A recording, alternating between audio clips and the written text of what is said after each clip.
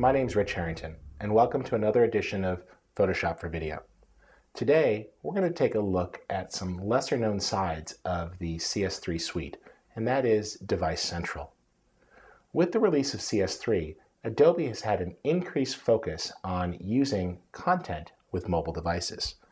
We're going to take a look at how we can use Device Central and Photoshop, as well as After Effects, to create some content for use on a mobile phone. Let's see how.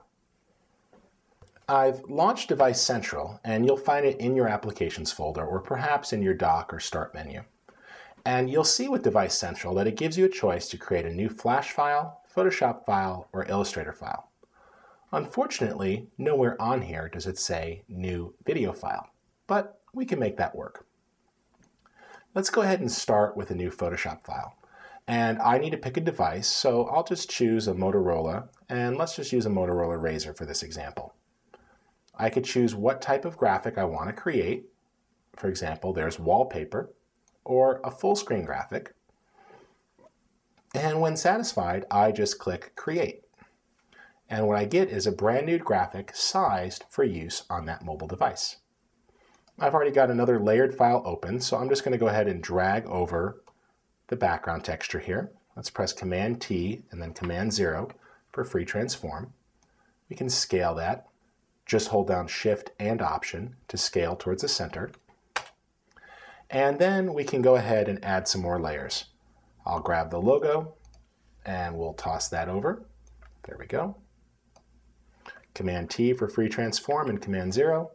And we'll scale that to position as well. There we go. I'm going to modify this just a little bit. I'll put a new layer in here, M for marquee, D for the default colors, and X to toggle. Draw my box and fill that. Now, you're all pros, so we're just going to keep throwing out the shortcuts. Option Delete will fill with the foreground color, and we can nudge that into place. Let's name our layer, because unnamed layers are sloppy. We'll call that box, and position it below the logo. That's working pretty well. I'll go ahead and add a little bit of an edge here to help this logo stand out. There we go. Let's view this at 100% so it's a little more accurate. And I'm going to add a little bit of an outer glow here. We'll push that out. There we go. And let's just sample the color from the background. That works pretty well. Good. That's all set there. Uh, I can go ahead and take a quick look at this. If I'm satisfied, I could then choose to save this. Let's choose File, Save for Web and Devices, and we can check this and see how it's going to look as a JPEG graphic. We can adjust the compression settings as we need to, and if we'd like, click Device Central, and you can go back to Device Central where you can look at the graphic on a virtual cell phone emulator.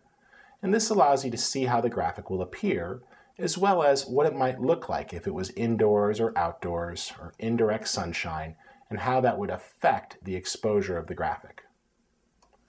When satisfied, we can just go ahead and close this back down for a second, and then click Save to save that file out. That'll work well. We'll just call this wallpaper and I'm going to go ahead and call it wallpaper 2 and hit save and it writes the JPEG file. Now I promised you that we can also take this into After Effects. So let's jump back to Device Central for a second and double check our video settings. If I go ahead and browse devices, I can look at all the phone profiles that are loaded and I'm going to take a look here at the Motorola Razr profile again. If I go to the Video tab, I see that this supports video at 176 by 144 pixels. So let's just remember those numbers. If you need to, you can write them down. I'll just set this off to the side here so I can see it. There we go. And I'm going to go ahead and change my canvas size. Image, canvas size. And we'll go to 176 by 144 pixels and click OK. That's fine. It's going to go ahead and clip the images, But fortunately, all that data is still there because changing the canvas size does not discard the data at the edges of the image. I'll now go ahead and choose Save As, and we'll call this Cell Video. And save that out as a layered PSD file. There we go. Let's close these both down, and I'm going to switch over to After Effects where we can import that file. And we'll bring that in as a composition. Everything comes in, the file is sized properly. One of the nice things with After Effects CS3 is that layer styles actually come over now, very nice and clean. Let's go ahead and turn off some of these layers. And what I'd like to do is stylize this a bit. I'm going to go ahead and add a new texture layer. You'll find these with lots of others to choose from in your presets folder. So if you twirl down animation presets and look at the presets folder, there's a whole category of backgrounds. Let's use the circuit background here, and that's created a nice tile, except it replaced my mosaic layer. So let's hit undo for a second, and instead we'll make a new empty solid layer. And we'll call that circuit. There we go.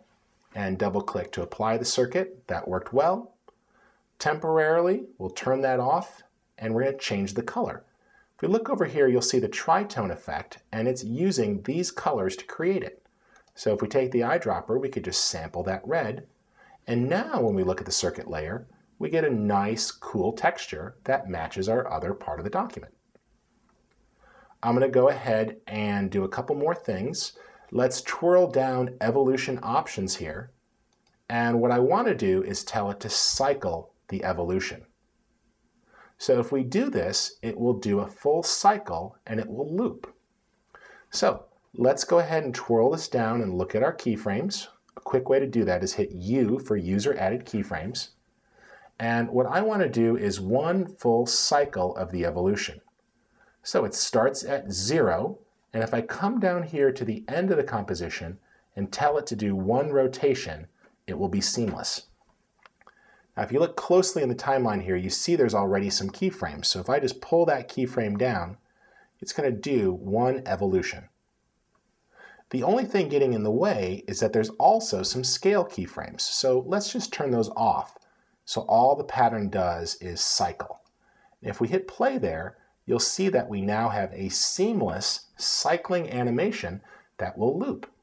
This means it can play infinitely and the pattern will keep playing smoothly with no jumping the impression of the person.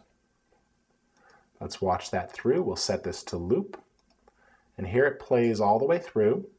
And when it gets to the end, it's going to seamlessly jump back to the beginning and play again. There we go. Nice seamless animation. Let's drop that over the mosaic background in the timeline and we'll change its blending mode to screen. Now, if you're not seeing your blending modes, you can go ahead and right click and make sure that the modes column is checked. If we set that to screen mode, it will drop out the darker areas and blend them all together. Let's take a look at that. Good, we've got a nice seamless texture with a little bit extra going on. I'm going to come up here now and here's our box. That's fine. And let's ungang those and we'll just scale the height. There we go. And press T for opacity and we'll set that to 60%. That creates a nice screen effect to help offset the logo. The logo's there, it's easy to see. If I'd like, I could put a little bit of enhancement to this. I'm going to add a new layer, choosing Layer, New, Adjustment Layer. And on this adjustment layer, I'm going to add a blur using the CC Radial Fast Blur. We'll tell this to zoom only the brightest areas, or we can leave it to standard, in fact, that's fine. And let's just change the blend mode there to something like add, or soft light. There we go. That created a nice softening to it, and we can go ahead and preview that. And what we have is a nice, subtle animation ready for the cell phone. Let's go ahead and add that to the render queue, composition, add to render queue. And we'll just render that out. In fact, everything's fine here, so we'll just spit this out as a movie file, and then we'll quickly convert it to use as a cell phone animation. Let's render that out to the desktop real quick. Cell Video MOV, and we'll hit Render. It's a fast animation and render. After Effects CS3 has gotten much faster, in fact. And we'll come back out here to our desktop, open up that movie, and I could choose File Export. Now, you might be saying, how do I know what file format to use? Well, if we go back to Device Central, if we look at the Video tab, we'll see that it supports a couple of formats for this phone, 3GPP and MPEG-4. Now, lots of other phones support Flash Video, so if that's the case, you can easily create a Flash Video file right inside of After Effects CS3. But we'll go ahead here and quickly process this. I chose File Export and I specified Movie to 3G. We can go ahead and hit Save and it will convert that file. And one of the nice things about the 3GPP format is that it just slashes the file size. In fact, we went from a 6.3 megabyte file to a 80 kilobyte file. Let's switch back to Device Central for some quick testing and we'll choose File Open. I can select that video that I just created. There it is, and hit open. And you'll see that the video loads in the emulator. Let's turn off the reflections. And there it is. In fact, the video is playing. You can see the subtle movement we created. And we can test these full quality animations on a virtual cell phone device. Plus, if Flash Video is more your speed, feel free to browse some of the other templates that are available and you'll notice that in some of the device profiles it will specify what format. Now, Flash Video is up and coming, so keep an eye on that and you'll see more options arise on newer cell phones. But in the meantime, Device Central will make it very easy for you to test your content and see it in motion. Now, that was a very small niche tutorial. I invite you to subscribe to our regular weekly podcast called Photoshop for Video, which you could find at the website photoshopforvideo.com as well as on iTunes. Plus, if you'd like more, feel free to pick up the new book from Focal Press, also called Photoshop for Video. We have a theme going. I'm your host, Rich Harrington. Thanks again for joining me, and feel free to explore some of the great opportunities of the new Creative Suite.